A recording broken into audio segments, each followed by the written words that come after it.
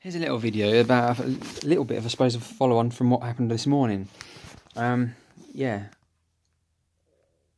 someone's uh, a witness actually contacted me, and um, I'm, I've, I've taken a picture with my camera of my phone because I can't record and read WhatsApp at the same time. Um, here we go. I'll just read the read this whole whole thing to you.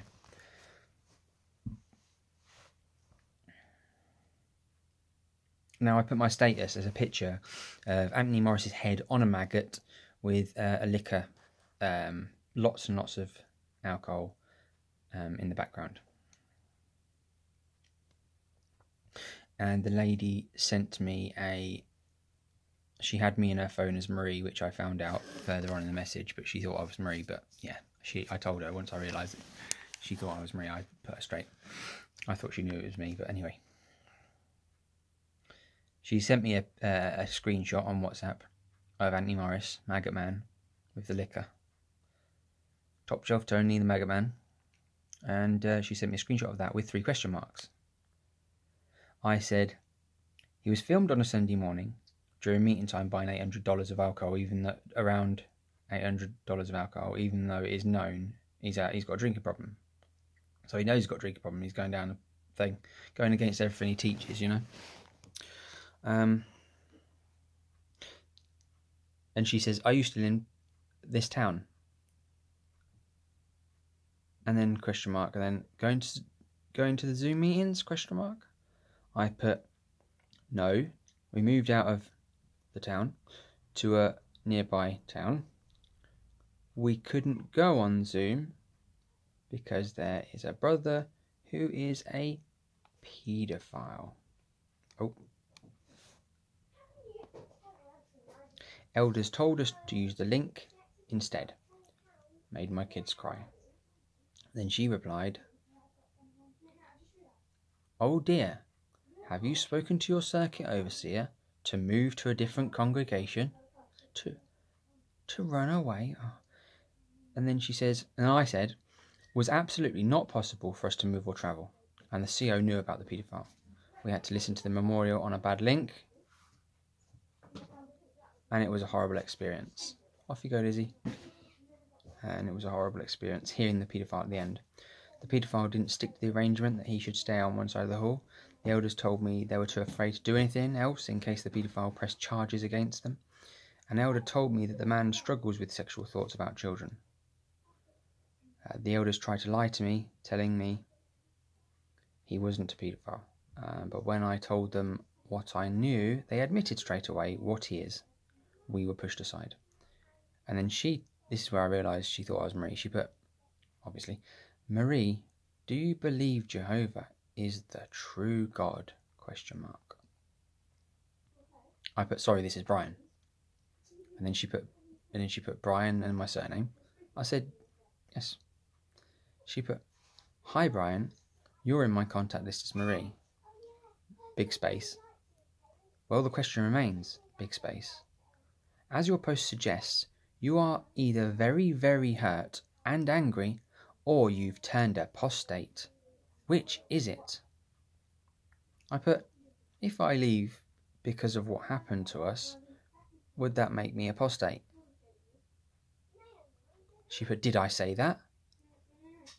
Are you a Jehovah's Witness? And so two messages. First one says, Did I say that? And the second one says, Are you a Jehovah's Witness? I put, I'm a bit angry, yes. And then I messaged again, put, but hurt more. Then she put again, Are you a Jehovah's Witness? I put, We're disassociated. And then, bye. That's it. Isn't it funny how these oh, show concern? She'll now say, he tried, he tried to put me off, he tried to put me off, you know, blah, blah, blah. The fact is, right, my family have been put through that much shit. Bullying. Control. Being lied to. Fucking used. Shat on. By people who think they're nice. And people who actually, they think they're nice, but deep down they know they're fucking bad. Right? I'm sick of it. I hate it. I do hate it. I hate that organisation. It's disgusting. We are a good family. We did bugger all wrong. And what did they do? They shat on us. They told us that they were pushed out. We were stupid. Well, I'm not stupid. I saw through their lies. I saw through their crap. And Marie wanted to leave before me. She did. She really wanted out of there. And I feel guilty for what I put her through because I kept her in for a while um, till I'd had enough. I should, fucking, I don't know what. But this stupid bitch will now go and tell other people. Did you know this? This brother, he left. He left. He left the truth, and he was, you know, he should have trusted Jehovah. And what was she? What the hell was she going to say? Do you still believe Jehovah is the true God? He'll sort out in due time. What? Ten fucking years of shit. That's all we've had. We muddled on because we were brainwashed. And it's not to get to paradise. Don't talk crap. And now I've been put through all that crap. I've had that done to me. And I did nothing back except just walk away from it. And now I'm a bad fucking person. According to them. They won't talk to me. I am now an apostate. Don't talk to him. I know what you're all going to say. I know the comments, and thank you for. I know what you're going to put, and I can imagine some of the things that you're going to put.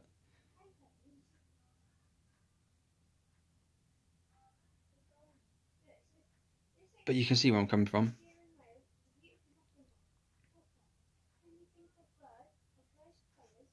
The word needs to get the hell out and stop vulnerable people. Everybody needs to know the absolute truth about these bullshit fucking lying fake governing bodies, yeah, and know that it's bull before they are vulnerable, before they go through um, a, a, loss of, of a family family member or whatever, and, and and take the bait. They need to know before that. They need to be got to before they become brainwashed. And stop kids getting abused stop people getting married to men who abuse them. And I'm not just talking about beating, I have seen a lot of mental abuse. And I do actually think that the way that they actually run and the headship arrangement and stuff, even if you stick to that and don't go off it, it's still borderline dodgy. Yeah? I know they've had meetings specifically to praise sisters and blah de blah and all this lot but it's not fucking nice because they're put on and it's not nice. The amount of pressure was put on Marie to do things. And yes, some sisters would come and help. But some would come and help and they'd just sit there and do nothing or they'd make things worse. Um, there are very few, very few good people in in that organisation, and the problem with it is those good ones will never come out because they're shut they talk about people on the outside being blinded by Satan. Their minds are blinded by Satan. Your Jehovah's Witnesses' minds are blinded. They're blinded. You're being controlled. They're being controlled. And it really does pee me off because I want this message to get out there. And I'm thinking about posting, joining the old town we were on, trying to find a community Facebook page and put a video of my face on there telling everything that's fucking happened and say, now, Jehovah's Witnesses, you, I've been through all this hurt because of all you lot and all you elders who did nothing. When my son was bullied, I was told to toughen up. Well, I'll tell you what toughening up is. Is I told the guy whose son bullied me. I said, if you, if they did that, if that was done to me, I'd smack you in the face, straight out. That's toughening up. Don't put up with bullying. Don't put up with it. It's all bullying. I've just drove through town for the first time, seen a, an elder with his wife, and he saw me at a distance, and he pretended not to see me as I drove by. What should have done is fucking beat me on and stick my fingers up at him.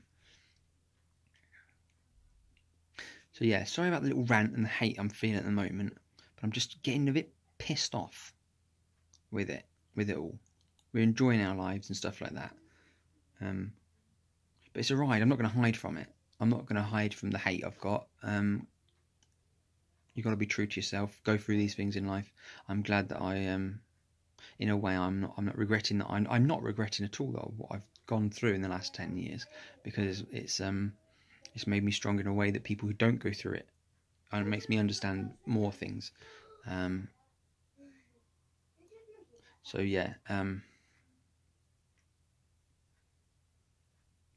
well done all of you who have left that bullshit organisation. I'm I apologise for swearing. If you don't like it, you could have turned it off. But this is this is this is what I'm. This is how I feel. I'm not going to hide it.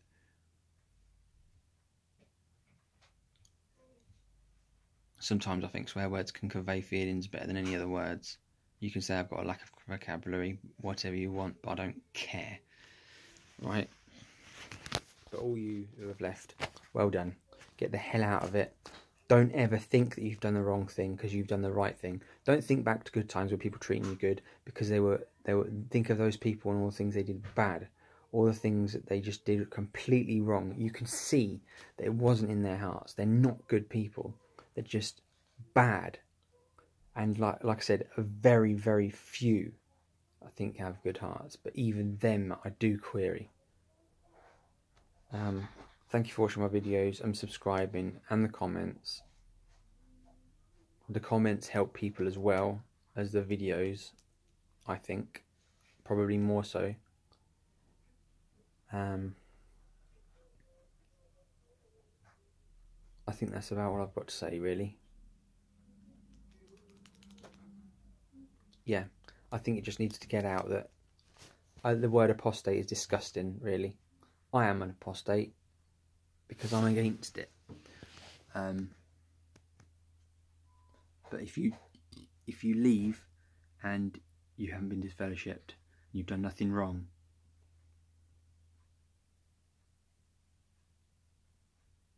you're bad. You they can't they do not disassociated and disfellowshipped.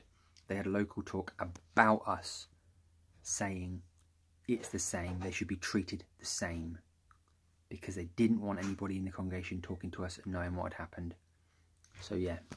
Screw the organisation. Sod the governing body. Those bunch of lying morons. They're thick and evil